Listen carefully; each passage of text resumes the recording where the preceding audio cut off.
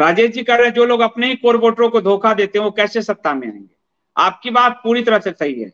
लेकिन अपने वोटरों को गाली दिलाने के लिए एक ट्रोल आर्मी रख रखा है इन्होंने।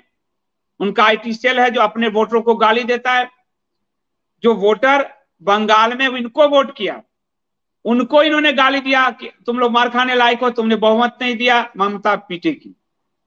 ममता को जिन्होंने वोट किया उनको नहीं पलायन करना पड़ा। उनकी महिलाओं के साथ दुष्कर्म नहीं हुए, उनके जान नहीं गए। जान किन के गए? जिन्होंने भाजपा को वोट किया। पलायन किन्होंने किया? जिन्होंने भाजपा को वोट किया। किनके घर की महिलाओं के साथ दुष्कर्म हुए? जिन्होंने भाजपा को वोट किया।